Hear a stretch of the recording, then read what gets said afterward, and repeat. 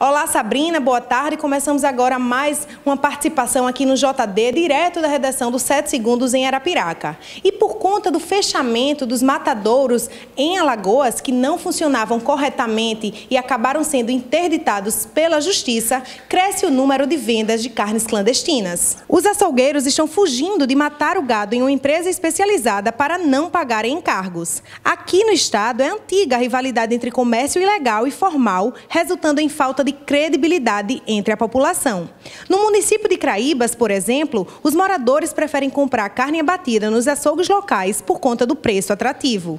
Mas esse problema não acontece só no município de Craíbas. Em várias cidades daqui do estado de Alagoas, a população, por desconhecimento, tem comprado carne sem nenhum tipo de fiscalização. Segundo o diretor administrativo da empresa Frigovale, que atende pelo abate em todo o estado, o consumo da carne de abatedouros ilegais acaba sendo motivo de doença. Comerciantes seguiam para a cidade de Igaci, em Alagoas, quando sofreram um acidente na rodovia AL-115. A dupla foi surpreendida por volta das quatro e meia da manhã desta terça-feira, quando o animal tentou atravessar a pista.